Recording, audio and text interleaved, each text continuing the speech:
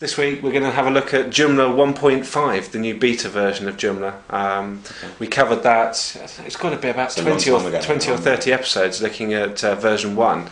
Now, I don't know, some of you may be aware that our website is actually um, a Joomla content management system itself, and it serves us pretty well. I That's pretty good. Eh? I'm, what, I'm what version is that? It's version 1.13, the okay. latest patch version. Um, but obviously, Joomla 1.5 is coming out, and uh, it's been in beta for a little while now. So we're going to take a look at the beta version. Still not fully released, and I, it hasn't got a fixed release date as of yet. But um, I felt it was worth looking at and sort of covering because I know that the last time we did it, we didn't. Um, go through sort of the administrative back end stuff in very much detail, and that was really what I think a lot of people were actually right. interested in, in looking for. So that's what we'll cover. And what we'll do is we'll focus more on actually doing something useful with the website and getting it up and running. See, the question I want to always ask, because I, I don't deal with our website at all, is. No, no, you don't. I want to know if I want to I mean, how do we go about creating our website? Is so we we need some web space with what in particular? What well, what we're going to do is we're going to run it in a sort of a test environment uh-huh. here, but you can go and buy pretty much any cheap entry level hosting package. So it's anything that is Linux or yeah, it's, it's, it's got to be a, a Linux based sort of gotcha. environment, you know. Um, but they all are a, a MySQL, Apache, sure. PHP, and quite often you can actually have Joomla as a pre-installed configuration. Gotcha. So sometimes they'll pre-install it for you. A lot of the time you get your hosting package, and then from the from the control panel, there's a, an option to install or deploy, or you can just upload the uh, the file as the video I just showed you. Okay, I haven't seen it yet.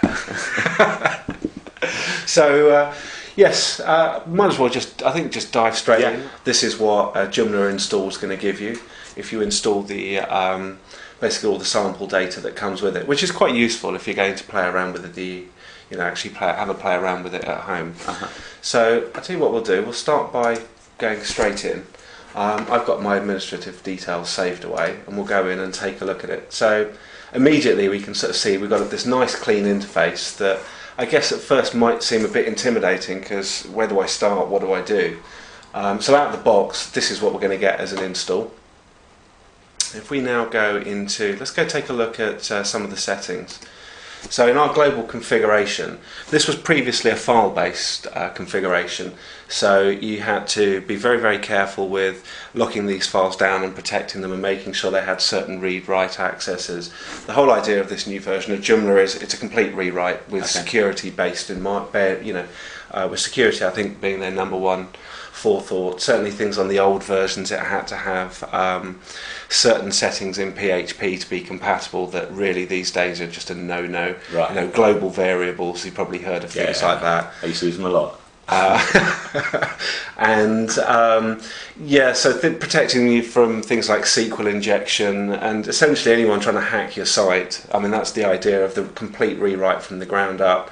So we've got this this configuration, and a lot of this we set up um, in the server side as part of the installation. So mail settings, database, uh, the actual server itself, FTP is now built into it.